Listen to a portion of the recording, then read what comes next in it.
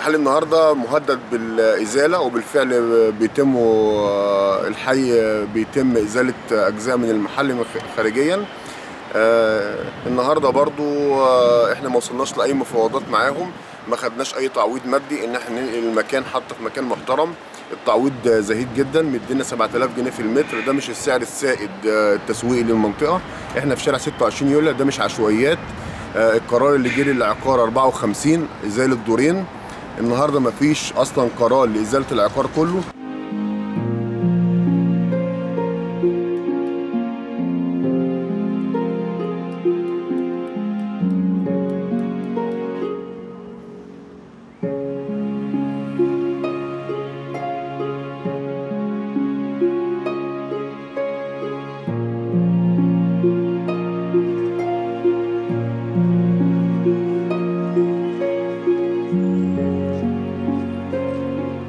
إحنا بنحاول نتواصل مع هيئة الآثار مع منظمة اليونسكو أي حد معني بالحفاظ على التراث بس واضح إن هو ودن من طين ودن من عجين بدليل إن إن هم بيكسروا في واجهة المحل وإزاز المحل.